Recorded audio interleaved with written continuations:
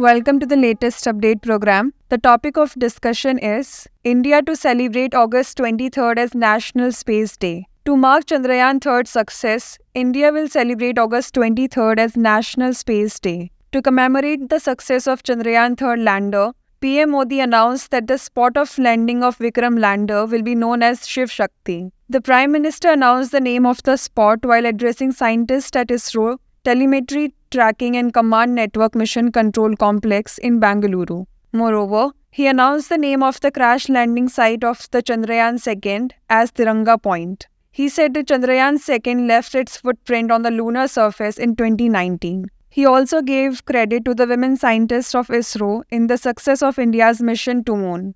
He also stated that a big quiz competition on the Chandrayaan mission will be conducted by the MyGov portal from September 1.